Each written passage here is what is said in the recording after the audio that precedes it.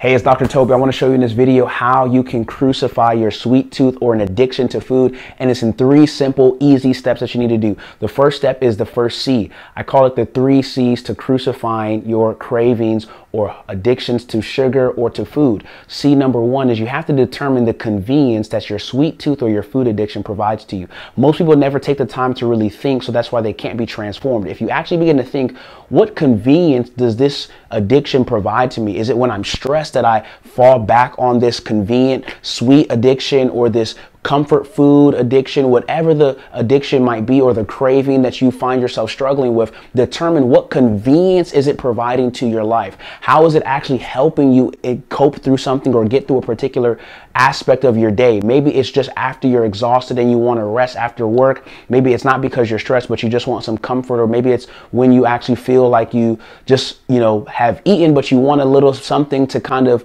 you know, put the icing on the cake. What is the convenience that that food or that snack or treat is providing to you. The number two, you have to determine what is the cost that is costing you to eat that snack or continue to engage in that addiction.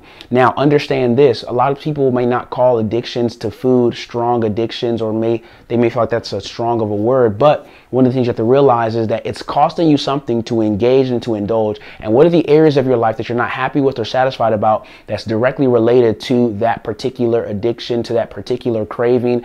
And once you can make that clear connection, because oftentimes we have a rough idea or a gray, fuzzy idea that, yeah, you know, maybe if I stopped eating sweets or maybe if I stopped eating, you know, or being addicted to rice or to pasta, then I would probably, you know, uh, not have the, you know, excess belly fat or have this or that, right? But make that clear connection and understand what it's actually costing you. And once you make that clear connection, then the next thing that you're going to be able to do is you're going to be able to consider and to evaluate if the convenience that it provides to you is worth the cost of what's being lost in your life. So you have to consider, you have to actually think about it. Do I really value the thing that I'm losing out on, the thing that is costing me to enjoy this convenience. And once you've done that, this is going to help you to break that craving because what you can do is you can simply, before you try to remove the thing that you're craving, replace it with something else that can help provide that same level of convenience to you. So before you try to lay off the snacks and the cookies and the chips or the pasta or the rice, find something that you're going to replace it with before you remove that from your life. Before you abstain from something, find something that you're going to adopt in order to replace that thing with. It's a super helpful strategy that makes a very big world of a difference. And if you start doing that, it's going to cause you to skyrocket in your success, your discipline, and in your self control.